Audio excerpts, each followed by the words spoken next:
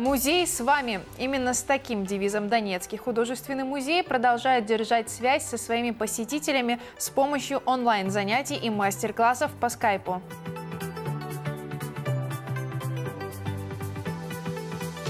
В рамках проекта «Музей с вами» мы проводим онлайн-мастер-классы по изобразительному искусству и музейные занятия, квесты. Вы можете выбрать любое занятие из предложений музея, предварительно написав в скайп художественного музея или позвонив по телефону. Мы разными материалами, разными техниками работаем, как в обычное время, просто онлайн, ну, в скайпе у нас есть группа, где собираются и дети, и взрослые, все желающие заранее записываются на определенные занятия, которые им понравилось, и ну, за час, там, за полтора вы сможете сделать картину там, акрилом, графическим, ну, разными материалами, любой техники, любой, без художественной подготовки. Также в рамках проекта «Музей с вами» в социальных сетях художественного музея вы можете совершать виртуальные прогулки, где под чутким руководством кураторов выставок вас познакомят с знаменитыми произведениями из фонда музея. Эта работа называется «Маракеш». Написана она была в 1928 году. К этому времени художницей было пережито очень многое. Революция 17 года сделала невозможной предыдущую тихую, спокойную, размеренную жизнь, к которой привыкла Серебрякова ее семья и вообще все люди их круга. Так неожиданно получилось, что э, отдыхать и плевать в потолок не получается.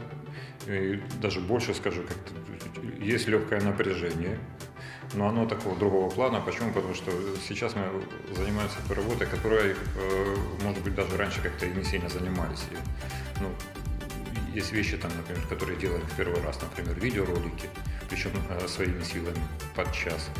А далее э, онлайн-занятия. Э, тут сказался просто опыт, потому что сотрудники музея э, очень хорошо умеют это делать вживую, вот, с живыми реальными людьми. Вот. Ну а теперь просто пришлось их опыт переложить на цифру, скажем так, вывести в онлайн-режим. И я могу сказать, ну, на наш взгляд, это неплохо получается. Это мастер-классы, это занятия, это общение по скайпу, Э, это лекции и так далее, и так далее. Даже вебинары уже сейчас э, проводят сотрудники, вот, например, Елена Борисовна Глубокая проводит вебинары, и, которые находят отклик. Есть люди, которые следят за этим, слушают, э, обмениваются с ней информацией. Ну, такое очень интересное. Ну, рисование творчества – это уже релакс, и мы работаем тоже с многими релакс-техниками, которые полезны и для детей, и для взрослых.